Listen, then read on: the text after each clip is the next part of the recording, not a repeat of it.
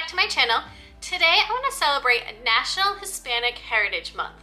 And this runs from September 15th through October 15th every year. This is the perfect time to learn about the incredible people, events, ideas, and achievements contributed by Hispanic Americans in our country. So today I want to share with you book characters, authors, illustrators to help celebrate National Hispanic Heritage Month. First book that I have is Digging for Words. And this is based on the true story of Jose Alberto Gutierrez and the library that he built. Senor Jose was a trash collector and along his routes, he discovered that people were throwing away books.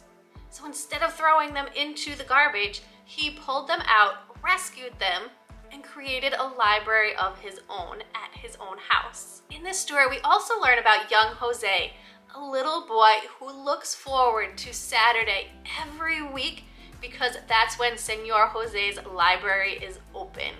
And he gets so excited to go and explore the books in this library. This book is a celebration of perseverance, community, and the power of books. So I bet you can guess that this is one of my favorites from this collection that I'm sharing with you today. And this next book actually has the same illustrator as Digging for Words. This one is called Planting Stories. And again, it's about the power of books and sharing stories with others. This is a beautiful story of the life of Pura Belpre, and she was a librarian in New York City. Pura helped diversify children's literature by publishing stories, curating puppet shows, and planting seeds of change in the early 1920s. She worked hard to not only make space for herself, but for her culture within the walls of her library. Beautiful story to share. And I actually had the pleasure of meeting the author of this book and it was so neat to hear the process that she went through to create this story about this amazing woman. A great read aloud to share with your class this month. This next book is also a biography, but this one is about a young girl who was an amazing piano player. Dancing Hands is about Teresa Carreño, who was a child prodigy. She was an amazing musician. She started playing music because it brought joy to not only herself but those around her. And as she became better and better at playing the piano, she was invited to play in cathedrals and theaters all over. And eventually, she was invited to the White House to play music for Abraham Lincoln.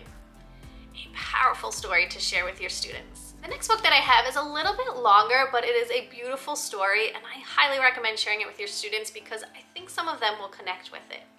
This one is called Islandborn. In this story, Lola's teacher asks each of the students in the class to draw a picture of where their family immigrated from. But the problem is, Lola was so young, she doesn't remember where she's from. But with the help of her family, friends, and their memories, she is able to take a journey back to the island learn what it was like. And her abuela shares, just because you don't remember a place doesn't mean that it isn't inside you. And the illustrations in this book are absolutely gorgeous. Islandborn is a great read aloud for Hispanic Heritage Month.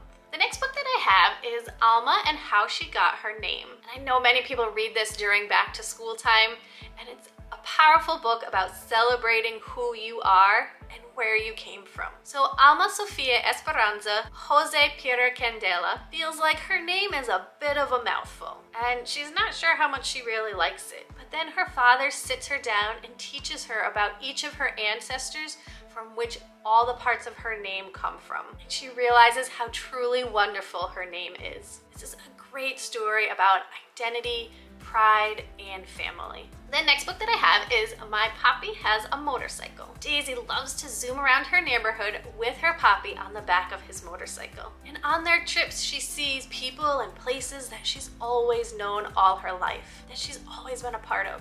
The community is starting to change around her. But she realizes throughout the story that some things, like the love of her Papi, her family, and her friends, never change. This story is a young girl's love letter to her hardworking father and that feeling of home that we always carry with us. This next book might make you a little bit hungry. Nacho's, Nachos. This story tells us about the inventive chef and the events that led up to the creation of this very popular snack. We learn about how young Nacho loved to cook and eventually he got a job at a restaurant. He was a head waiter, and one day a customer came in and said, I want something different, something that we haven't had before. So Nacho heads into the kitchen and gets creative. And out comes this delicious plate of nachos. This would be fun to have a snack with your students while you read the book aloud because I know you will all be hungry by the end of it. And this next book that I have, I have shared before. Evelyn Del Rey is moving away. So this is a sweet story about that last day before your best friend moves away. You want to make the most of it, but it's also a little sad at the same time. These two girls spend one last afternoon together doing all of their favorite things, and at the end they promise to keep in touch, and you'll have to read the story with your class to find out if they really do keep that promise.